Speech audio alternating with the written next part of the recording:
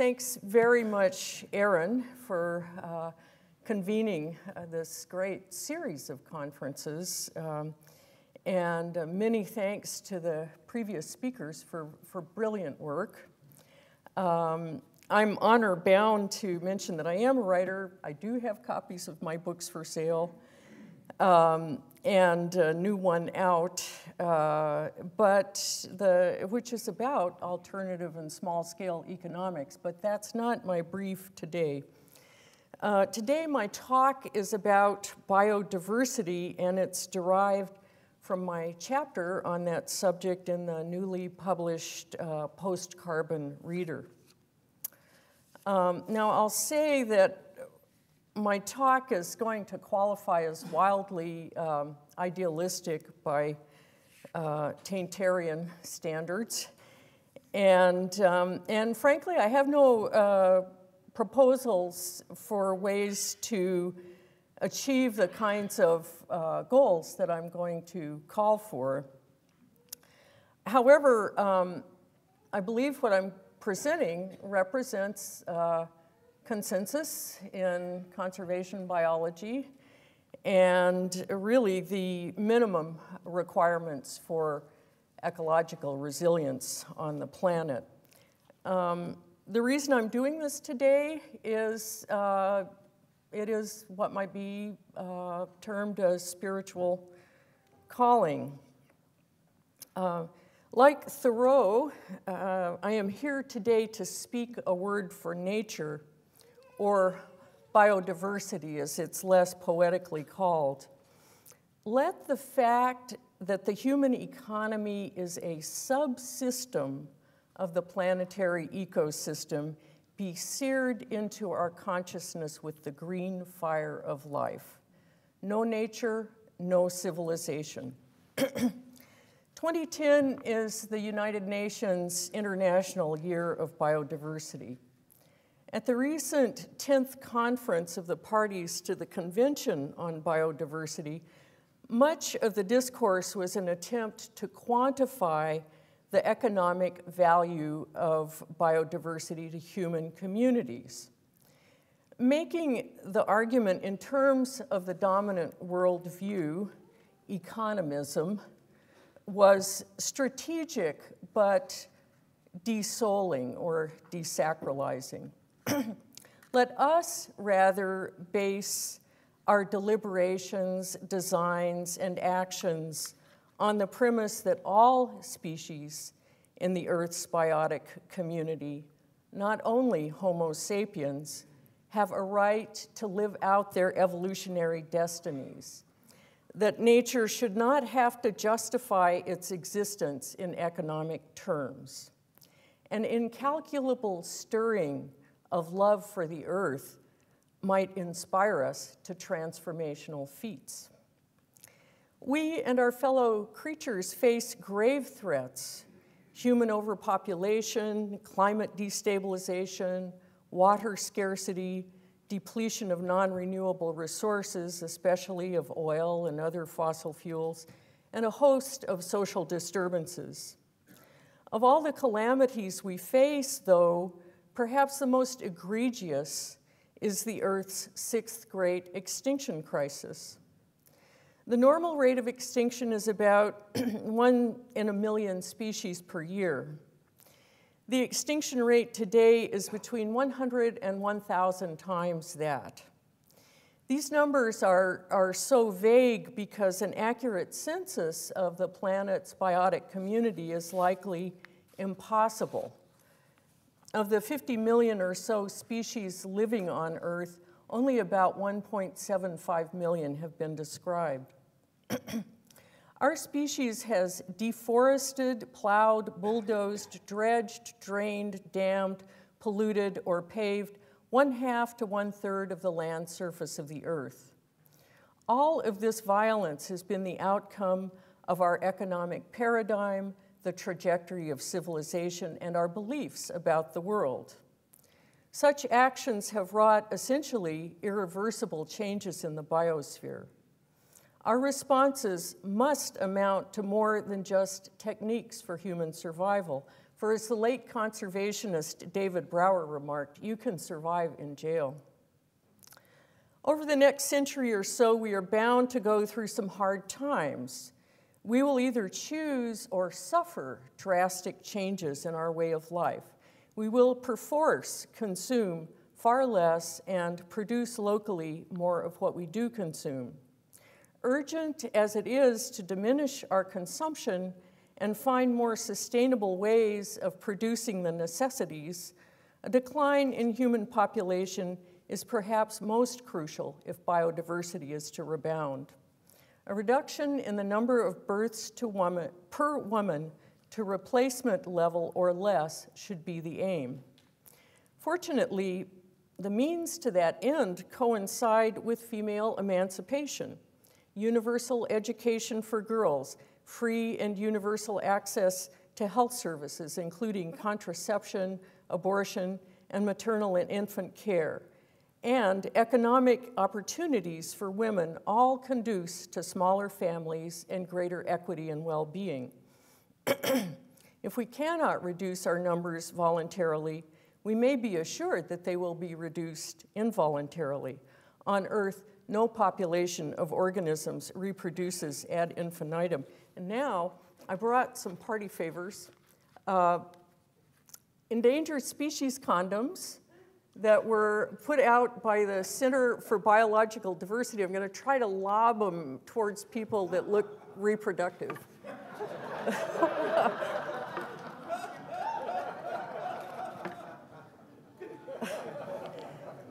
the, uh, the Center for Biological Diversity is a, a savvy outfit that uses the Endangered Species Protection Act to sue to try to prevent extinctions. And this last year, they did this endangered species condom campaign with hilarious slogans. One of my favorite uh, features a picture of an amazing organism, the American burying beetle. And the caption is, uh, save the burying, uh, cover your tweedle, save the burying beetle. anyway, um, we human beings are in the continuum of life, subject to its rules, available to its splendors. Our membership in this community is not a romantic idea, but a fact of evolution. We are biological organisms.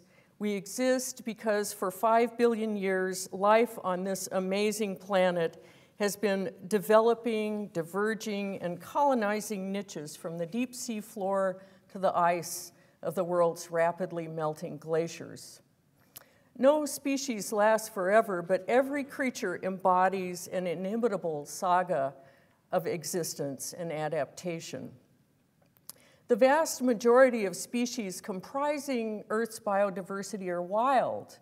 Without them, we would not and could not exist. They provide ecosystem services such as food from soil and sea, production and maintenance of oxygen and other gases in the atmosphere, filtration and detoxification of poisons, climate moderation, regulation of fresh water, decomposition of wastes, recycling of nutrients, soil creation, control of pests and disease vectors, and storage of solar energy and food and fuels. They serve as an immense trove of the genetic information that will allow for future evolution. In addition to the species rich tropical rainforests and the animals that conservationists refer to as charismatic megafauna, these being great beasts like lions and wolves, and the hoofed animals like zebra, antelope, elk, and bighorn sheep on which they prey, Biodiversity includes myriad inconspicuous beings like bacteria, insects, bats, which incidentally are dying by the millions now because of a mysterious uh, fungal infection, and rodents, whose roles in the web of life are fundamental.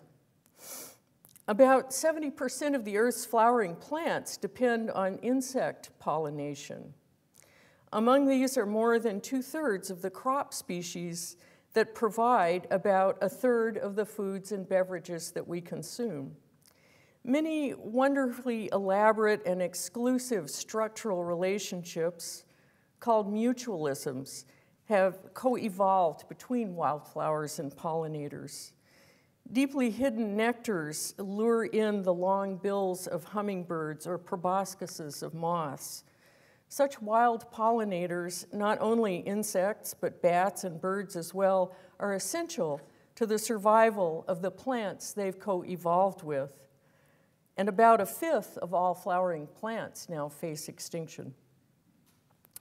In nature, there is no waste but death and transformation. Without the ecosystem services of what are called detritivores, critters that dine on organic debris, like that American burying beetle, and other reducers of carrion and leaf fall, we'd be neck deep in corpses and dead vegetation. Vultures, fungus, microbes, larvae, and beetles are among biodiversity's undertakers, consuming the dead and transforming them into the makings of soil and future creatures.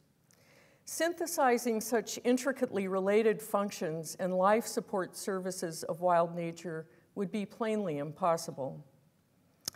Bear in mind that every domesticated plant, animal, or insect, like the honeybee, that we depend on for food and fiber descended from a wild ancestor. We are heavily dependent on just a handful of domesticated plants and animals.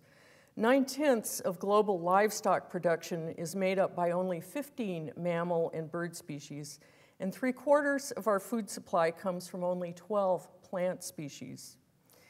Raised in monocultures, these organisms are quite vulnerable to parasites and diseases. Given such vulnerability, we not only need to preserve the diversity of plants and livestock developed by the farmers and gardeners around the world who bred varieties adapted to their specific bioregions. We must preserve the wild lands where these stocks originated as reservoirs of genetic diversity that will be essential to the resilience of eco-social systems. Vegetation and precipitation are interdependent. Plants draw soil moisture up through their roots, stems, trunks, and branches and emit water vapor from their foliage. The process influences cloud formation over land masses. Deforestation generally leads to a decrease in rainfall. Forests precede civilizations, deserts follow, as the saying goes. Plants sequester carbon dioxide, a greenhouse gas. Biodiversity, embodied by forests and other plant communities, is the matrix of a tolerable climate and the water cycles life depends on. Clearly, biodiversity preservation must undergird any serious strategies for a transition towards a post carbon, steady state economy. This means securing wild places where ecosystems can persist or recuperate. Among conservation biologists, there's broad consensus that a global system of ecological preserves and heritage sites must include healthy, representative examples of the Earth's, of the planet's many types of ecosystems or biogeographical provinces. And I, I can't claim any great knowledge of this recent um, Convention on Biodiversity meeting, but I believe that their kind of opening offer in the negotiations was to try to set aside 20% of the uh, Earth's um, surface including the waters, for uh, biodiversity preservation. Probably got talked way down. And as I understand it, the United States did not sign the convention. Um, within biomes or ecoregions, these preserves must be connected, particularly along north south axes, to allow for both normal and climate driven migration. To function naturally, ecosystem preserves must be big enough to support a full complement of plants and animals, including keystone species, which often require extensive territories. These are plants or animals that play a pivotal role in their ecosystems. When keystone species vanish, the ecosystems that pivot on them are impoverished, losing diversity, resilience, and function. When they are restored, biotic richness may return.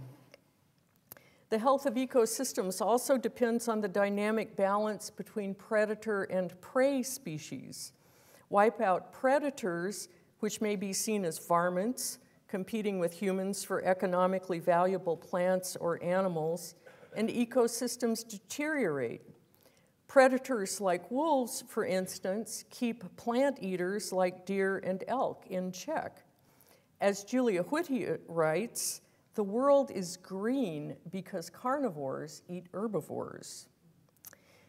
Reaping biodiversity in the form of game, edible or medicinal plants, or useful fiber is still an essential part of life for many people around the world, supplementing and enhancing diets and health, providing food, shelter, and clothing independent of the money economy. Those interdependencies can serve as templates of the collaborative relationship, of collaborative relationships between human beings and their ecosystems.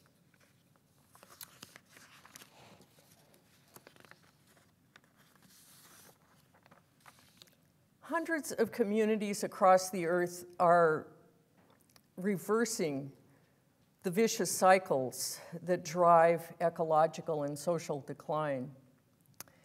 Savvy human ecologists, uh, uh, ecologist and a journalist, Gerry Marten and Steve Brooks, have collected and analyzed some of these stories and identified what they call eco tipping points. These are points of inflection where human interventions produced virtuous cycles. And um, they identified uh, essential elements of these, these uh, uh, tipping points that, that allowed for an intervention that led to a virtuous cycle. Among these essential elements are things we heard from um, our, our, permaculture maven earlier, uh, transforming waste into resor resources. Another crucial uh, element that's got to be present is social and ecological diversity, and social and ecological memory. So that would be the elder knowledge that has stood the test of time and the evolutionary memory embodied in the intricate relationships that are the very life of biotic communities. Letting nature do the work, say these human ecologists, is pivotal. Our charge and opportunity then wherever we are, is to preserve and protect biodiversity so that it may mobilize its regenerative powers. Naked new volcanic islands born out of the spreading seafloor by and by receive bird, plant, spider, and insect colonists that multiply, are eaten, and die, all becoming soil to host more variations of form and greater diversity. We can take inspiration from such patterns. Life wants to live. Recovering from mass extinctions is nothing new for planet Earth, although it may take 10 million years or so for such a richly diverse community of organisms to evolve again. For our part, and for the sake of the worlds to come, we must become a constituency for wild nature and arrest the extinction crisis. Our careful, concerted action, abetted by nature's phenomenal capacity for regeneration, could affect a transition beyond industrial civilization to a stable world of flourishing land based communities inhabiting a planet that still hosts a wild variety of life and culture. Quixotic and improbable of achievement as this may sound, as we assess our prospects for making it through these predictable crises of globalized civilization, let our plans and visions be generous and aware, not merely human centered, but biocentric. Let us locate our endeavors within the greater reality of nature and treat it as sacred. Thank you.